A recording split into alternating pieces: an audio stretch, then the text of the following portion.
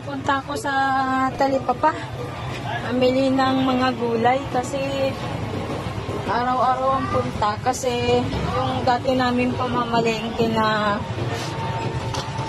isang beses lang sa isang linggo, eh, hindi na namin hindi ko na magawa kasi yung refrigerator namin nasira kaya dito na lang muna kami sa Talipapa mamimili gulay na lang muna kasi hindi kami makabili ng mga karne. Kasi ah nasira nga yung refrigerator namin.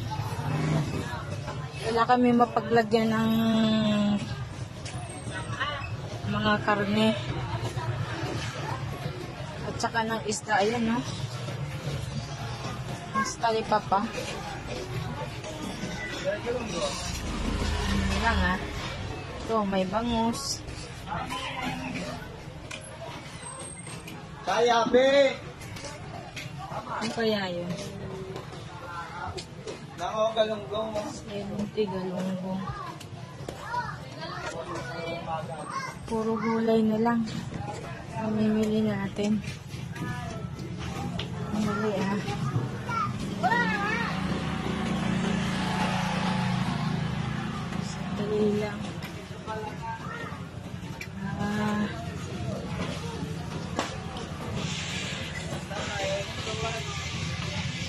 Mga gulay.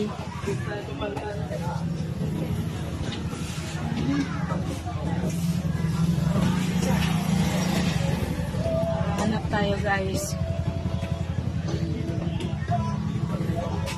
Ayun, may itlog. Itlog na lang muna. Kain ko na lang muna itlog.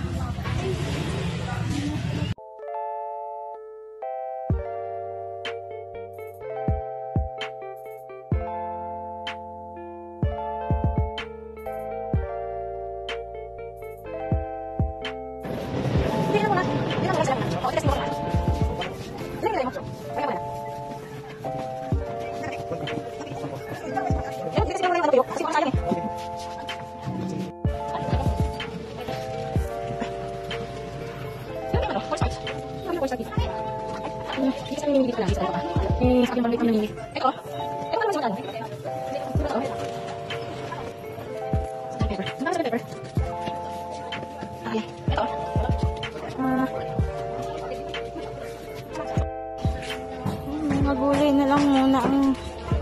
Binili ko.